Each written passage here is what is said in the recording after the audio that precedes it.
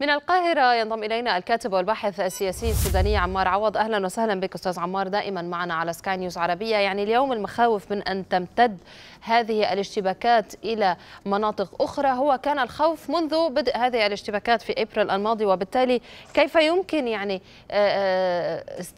العمل سريعا على عدم توسع هذه الاشتباكات خاصة وأنه كنا تابعنا منذ يومين لقاءات سياسية كان يؤمل منها بخارطة الطريق أن تنعكس على الميدان.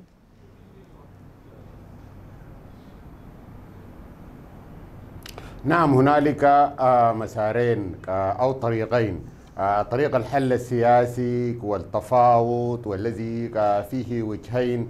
وجه في مدينة جدة ما زال متوقف. وجه في أديس أبابا أيضا لم يحرك ساكن. كان يفترض أن تكون الاجتماعات يوم 25 في هذا الشهر لكن يبدو أنها تم تأجيلها. حتى منتصف سبتمبر وربما آخر سبتمبر. في نفس الوقت كما تفضلت الحرب تتوسع بشكل كبير بعوامل ذاتية تتبع للحرب نفسها ميكانيزمات الحرب وعوامل خارجية وعوامل تتعلق بضعف العملية السياسية. العوامل الذاتية أن هنالك أغاليم مثل عندما نتحدث عن جنوب كردفان القائد عبد العزيز آدم الحلو هو حتى الآن لم يعلن أنه يقف إلى جانب أحد الأطراف لكنه دخل الصراع لأنه يريد أن يبحث لشعبه أو لإقليمه أو ربما يكون متحيزا لفئة غير معلوم لكنه هو موجود على الأرض. في دارفور أيضا هنالك إشكالية أن الصراع بعد أن كان على أشده في منطقة غرب دارفور الجنينة وغيره ثم الزالينجي وسط دارفور. الآن نتحدث عن مدينة الفاشر. ميكانيزم الصراع أيضا هنالك يمكن أن يشعل هذه المنطقة نسبة لأن حركات الموقعة على سلام جوبا التي يتبع لها حاكم الإقليم.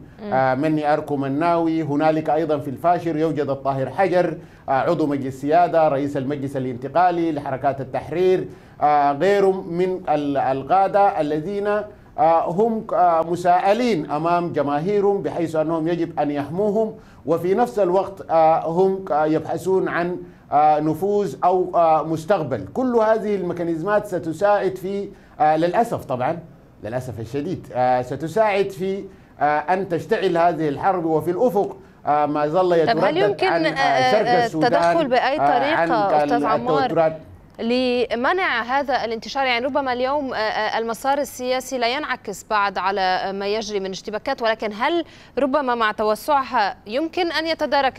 يتم تدارك الموقف سريعا؟ نعم يمكن تدارك الموقف إذا كانت النوايا إذا كان من القادة للجماعات المسلحة التي تتقاتل أو الجماعات السياسية.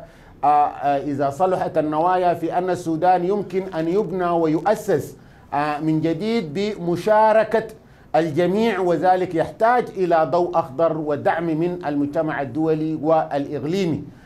ليجلس السودانيين. المقاربة التي للأسف تتم في أديس أبابا إذا كان في الاتفاق الإطاري تم استقطاب جزء من الحزب الاتحادي الديمقراطي بقيادة السيد محمد عثمان المرغني وقاد ذلك إلى انشقاق هذا الحزب. الآن نشهد أيضا نفس الطريقة تتم لانشقاق في داخل حركة العدل والمساواة السودانية إحدى الحركات الموقعة. هذا المنهج الذي يعتمد على إيجاد صور لتحالفات راسخة ولا يستوعب الجميع أيضا سيقود نعم. إلى أزمات التأسيس هو أن تجلس كل القوى السياسية ونحن نؤمل كثيرا على الزيارة التي أيضا يقوم بها السيد محمد بن زايد الشيخ الإمارات إلى أديس أبابا أديس أبابا عنصر فاعل في العملية السياسية نعم. الإمارات لديها مصالح